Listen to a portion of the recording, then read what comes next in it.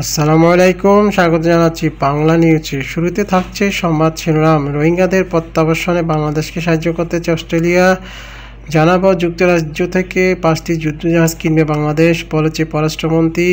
এবং সর্বশেষ জানাব আমাদের সন্তানদের দেশ সেবা শিক্ষা দেওয়া উচিত। এতক্ষণ শুনলে প্রধান শিরোনাম, চলেন এবং জেনে নিই বিস্তারিত। রোহিঙ্গা প্রত্যাবর্ষণ এবং জলবায়ুর স্থিতিশী স্থাপকতা সৃষ্টিতে বাংলাদেশকে সহায়তা করতে চায় অস্ট্রেলিয়া। প্রধানমন্ত্রী শেখ হাসিনাকে এই আগ্রহ কথা জানিয়েছেন অস্ট্রেলিয়ার প্রধানমন্ত্রী স্কট মরিসন। মঙ্গলবার কপ ছাব্বিশ এ সাইটলাইন আলোচনায় তিনি আগ্রহ প্রকাশ করেন। বিষয়টি নিশ্চিত করেন প্রধানমন্ত্রীর প্রেস সচিব এসানুল করিম বলেন, অস্ট্রেলিয়ার প্রধানমন্ত্রীর আমন্ত্রণে দুই নেতার এই বৈঠক অনুষ্ঠিত হয়। দ্বিপক্ষীয় বৈঠকে দুই নেতা দুই দেশের মধ্যে সহযোগিতার বিষয় নিয়ে আলোচনা করেন। তারা বিষয়ে জলবায়ুর সহযোগিতা এবং রোহিঙ্গা প্রত্যাবর্ষণের গুরুত্ব আরোপ করেন।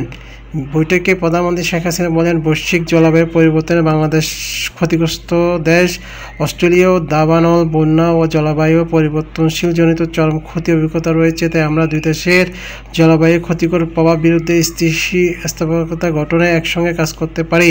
অস্ট্রেলিয়ার প্রধানমন্ত্রী জলবায়ু পরিবর্তনের ক্ষতিকর প্রভাব মোকাবেলা একসঙ্গে কাজ করার আগ্রহ প্রকাশ করেন। সে সঙ্গে রোহিঙ্গা প্রত্যাবর্ষণের সহযোগিতার আশ্বাস দেন। শেখ হাসিনা রোহিঙ্গা ইস্যুতে অব্যাহত সমর্থন জন্য অস্ট্রেলিয়াকে ধন্যবাদ জানান।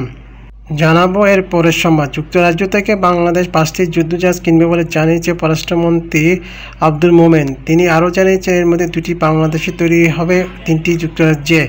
আজ শুক্রবার এক ভার্চুয়াল সংবাদ সম্মেলনে পররাষ্ট্রমন্ত্রী এসব তথ্য জানিয়েছেন। সংবাদ সম্মেলনে আরও উপস্থিত ছিলেন পররাষ্ট্র সচিব মাসুদ বিন মোমেন ও যুক্তরাজ্যের বাংলাদেশের রাষ্ট্রদূত সাইদা মোনা তাসনিম। পররাষ্ট্রমন্ত্রী বলেন, যুক্তরাজ্যের প্রধানমন্ত্রী বরিস জনসনের সঙ্গে অত্যন্ত উষ্ণ আলোচনা হয়েছে। যুক্তরাজ্য বাংলাদেশের নেভাল ফোর্সের কিছু জাহাজ পাঠাতে চায়। এটা বিষয়ে চূড়ান্ত সিদ্ধান্ত পরে হবে, কিন্তু মোটামুটিভাবে আমরা নীতিগতভাবে সম্মত যে আমরা পাঁচটা জাহাজ নিব। এর মধ্যে তিনটা তারা তৈরি করবে এবং দুইটি আমরা করব। আমাদের জাহাজ বানানোর ডক উন্নয়নের কাজে তারা করবে।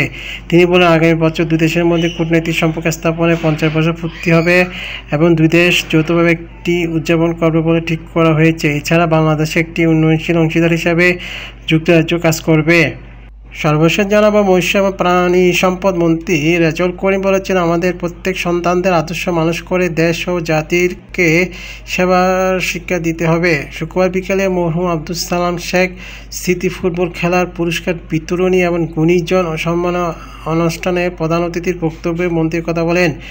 রেজল করিম বলেন, শিশুদের বঙ্গবন্ধু দেশপ্রেম ও নৈতিকতা শিক্ষা দিতে হবে। সন্তানকে নৈতিক শিক্ষা শিক্ষিত করতে না পারলে সে পরিবার ও দেশের জন্য অভিশাপ হবে। এই সময় তিনি বলেন, বঙ্গবন্ধু কন্যা একক প্রচেষ্টার দেশ, আজ যে উন্নয়ন হচ্ছে তা দেখে বিশ্বে বিভিন্ন উন্নত দেশ রাষ্ট্রপ্রধানরা বিস্ময় প্রকাশ করেছেন।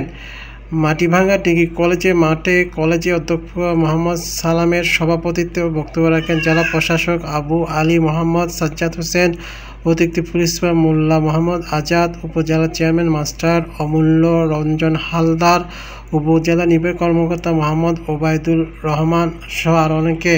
অনুষ্ঠানে এলাকায় পাঁচজন গুণীজন সম্মাননা প্রদান করা হয়। পরে সাম্প্রদায়িক সম্পত্তি রক্ষায় রেলিও ও বিজয়ীদের মাঝে পুরস্কার প্রদান করা হয়।